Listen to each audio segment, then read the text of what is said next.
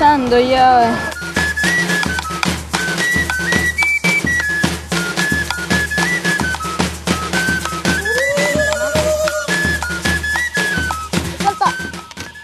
A su madre.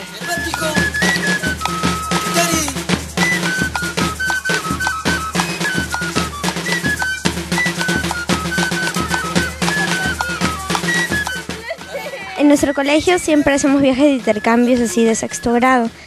En verdad nuestro salón siempre contábamos los días y los años para venir acá. Me he sentido bien esta semana porque he conocido una cultura nueva. Nuevas comidas y nuevas personas. Y esto me ha agradado muchísimo. Son muy buenos, son muy alegres y comparten esa alegría con nosotros. Cada rincón del Perú acoge culturas y maravillas inigualables.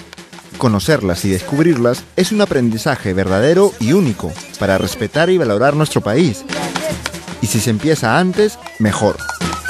Es importante este intercambio porque podemos aprender a estar más unidos. Porque respetamos eh, diferentes culturas, diferentes personas que también son peruanos y son partes de nosotros. Valorar otra, otras culturas. Al entender que una cultura diferente a la mía también puede ser buena, entonces comprendo que las demás también lo pueden ser, ¿no? No ne heita caro pipoca heita que cameta pashiniza ti nampitsiki. Maro nino kobahete escuela colegios pogahete en la selva de Candaja no sagir. Y lo han tanto en Perú. Esto lo saben bien los alumnos del sexto grado del Colegio José Antonio Encinas, OJAE, de Lima, que este año llegaron a la comunidad de Impitato Cascada, en la región Junín, para conocer el día a día de los niños de esta comunidad asháninca.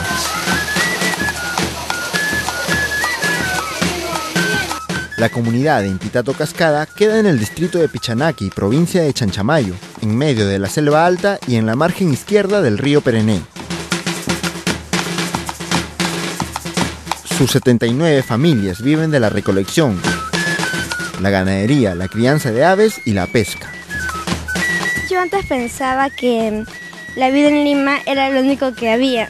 Y bueno, cuando vine aquí descubrí que no es la única, porque esto es diferente, pero también es nuestro.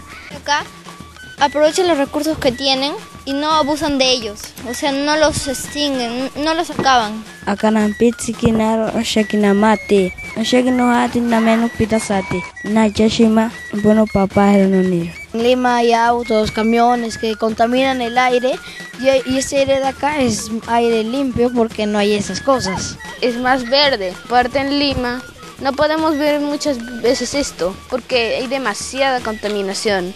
Nunca he olido ese olor tan natural, tan libre. Mira que no vale.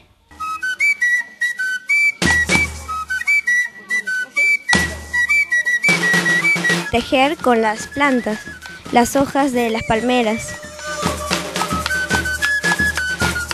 Y nos han enseñado cómo cazan sus alimentos a través del arco y la flecha. Es emocionante, te liberas, te liberas. También nos han hecho jugar al tiro blanco con ellas. A cazar animales, insectos. Ay, qué miedo. Nano ni, ya nano no ni hiri. Encinas Yatayete Shompeta Tsopanda Charo Chochok.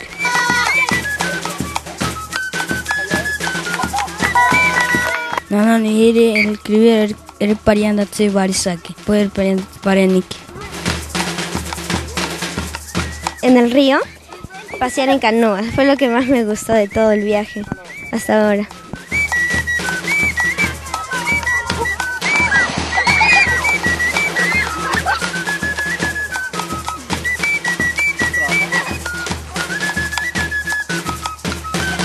me he dado cuenta que sin necesidad de estar ahí con el play o con la televisión, te puedes divertir.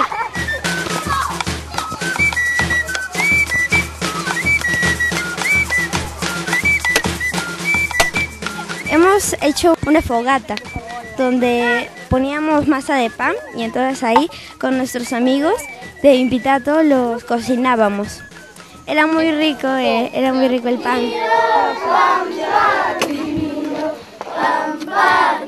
Y es que para ellos, con el intercambio cultural, se gana sí o sí.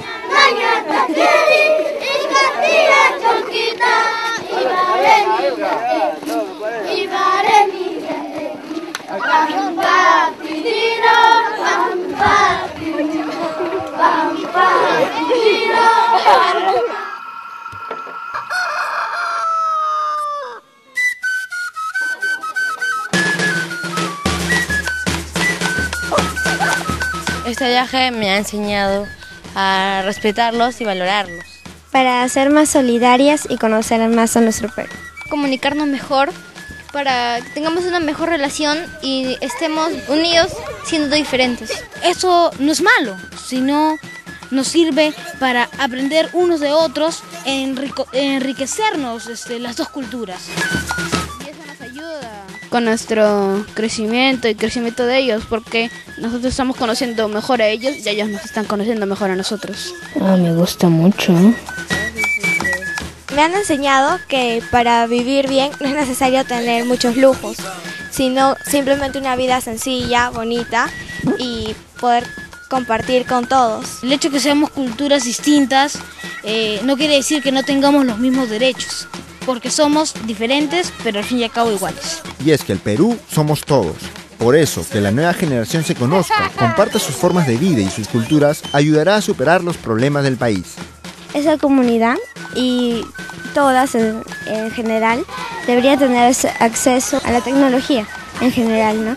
Carreteras y exportar sus frutos que ellos tienen en abundancia para que así ellos ganen más, que también tengan un colegio más grande con más profesores que estén bien capacitados, pero sin dañar su cultura, algo que ellos no quieren, sin dañar su medio ambiente. Deberíamos cuidar lugares así como este, porque es una parte del mundo que está por desaparecer.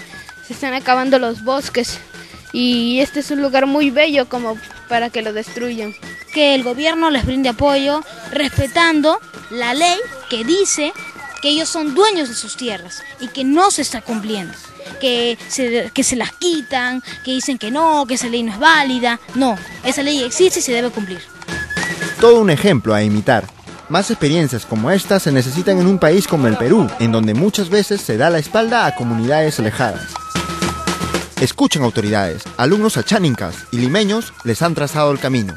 Que los políticos de Lima creen que como ellos viven, deben de vivir todos los demás. Y así no es, porque a nosotros tampoco no nos gustaría que eso nos hiciera. Nuestra mirada era chiquita y ahora, por ejemplo, que hemos venido acá, se hace más grande y crece y crece porque conocemos nuevas culturas.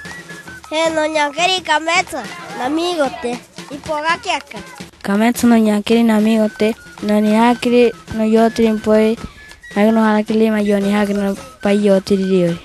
Me gustaría seguir compartiendo con ellos todo lo que tengo y la amistad porque no quisiera olvidar nunca esta experiencia tan bonita. Acá encuentro colaboración, unión. Ellos son felices con su entorno, con la selva. Por eso hay que respetarlo, val- valorarlo. Y también por eso esta experiencia me quedará grabada aquí por siempre. Ya nos vamos en Lima, Larry. ¿ah? Nos vemos en Lima.